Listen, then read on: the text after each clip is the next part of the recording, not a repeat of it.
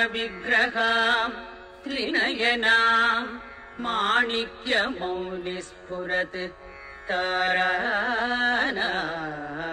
तारानायकशेखराम् स्मितमुखीम् आपीनवक्षोरुहाम्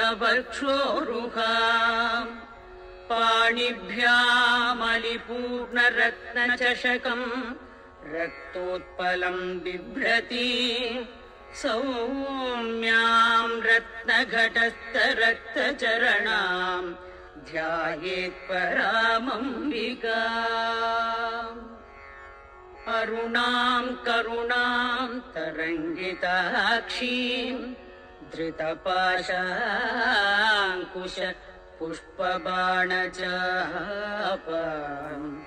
अणिमादिभिरावृताम् मयूखैः अहमित्येव वये Bhavani.